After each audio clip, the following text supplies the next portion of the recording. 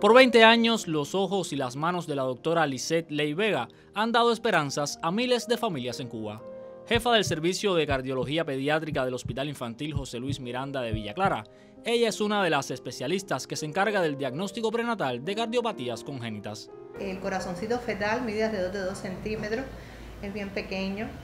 Siempre es difícil para el médico, para el familiar también, para el genetista que comparte nuestra consulta, para el radiólogo que también hace una valoración integral del feto, porque estamos ofreciendo, es decir, detalles de un asesoramiento cardiogenético. ¿Qué pronóstico tiene ese feto con la cardiopatía? ¿Qué posibilidades hay de opciones terapéuticas después de nacido el nené? cómo se acondicionan los servicios de neonatología para recibir a ese niño y tratar de ofrecerle cuidados intensivos neonatales porque es un niño que porta un defecto congénito cardiovascular. Cuando la COVID-19 llegó a Cuba, trajo también retos importantes para la salud infantil.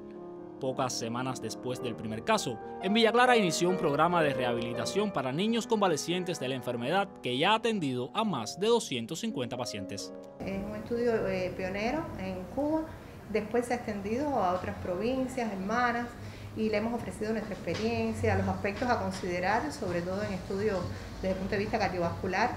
También en nuestra provincia se incorporaron otras especialidades muy valiosas a la valoración de estos niños desde el punto de vista respiratorio, nefrológico,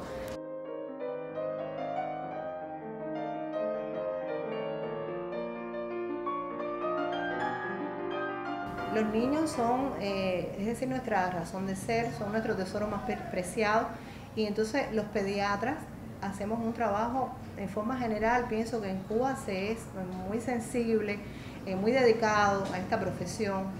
La pediatría es una especialidad muy bonita y cuando afecta el corazón, es decir, mucho más sensible, porque tenemos un niño que es la principal razón de ser, tenemos una familia también, una familia que ayudar, que apoyar, que darle nuestros mejores cuidados y atenciones.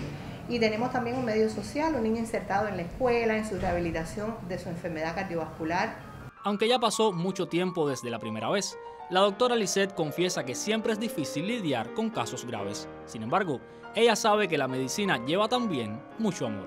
Y no solo es la ciencia, los conocimientos que el médico le puede ofrecer a esos niños, sino la parte afectiva. Pensar que cualquiera de esos niños puede ser nuestro familiar, nuestro hijo, nuestro sobrino, nuestro ahijado. Lisette no puede recordar tantas vidas salvadas a fuerza de ciencia, perseverancia y pasión, pero algo sí puede contar.